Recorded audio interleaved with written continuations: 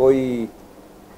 para nosotros es un día muy importante, es un día en el cual nuevamente la docencia, la investigación, la, innovación en medicina se pone al tope de la agenda en salud pública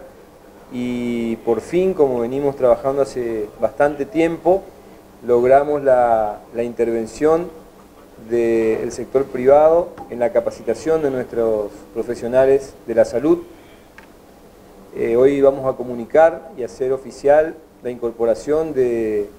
de dos entidades que son privadas en la conformación del esquema de enseñanza de posgrado en medicina en nuestra provincia. Esto es la incorporación de una plaza de residencia privada en la especialidad de nefrología. Firmaremos un convenio con el Instituto de Ortopedia y Traumatología y, con Fresenius, que es una empresa donde se hace nefrología de alta complejidad, donde además se desempeñan desde hace un tiempo ya un servicio de, mucho prestigio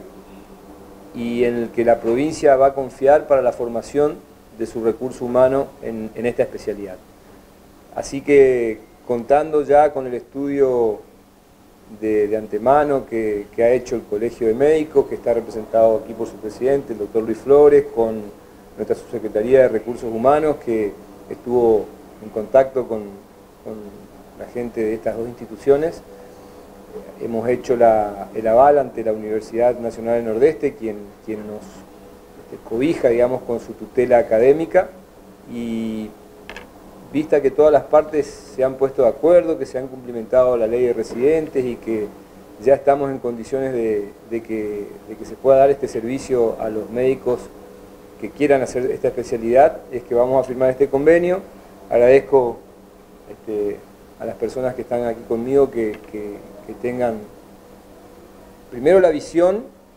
de, saber que la docencia y que la formación permanente del recurso humano es lo más importante en, las especialidades médicas, visto que es recurso humano dependiente. Y segundo, obviamente, este, la, la intención política y empresarial, una mirada este, que tiene que ver con la superación y que los pone obviamente eh, a la altura de estas circunstancias.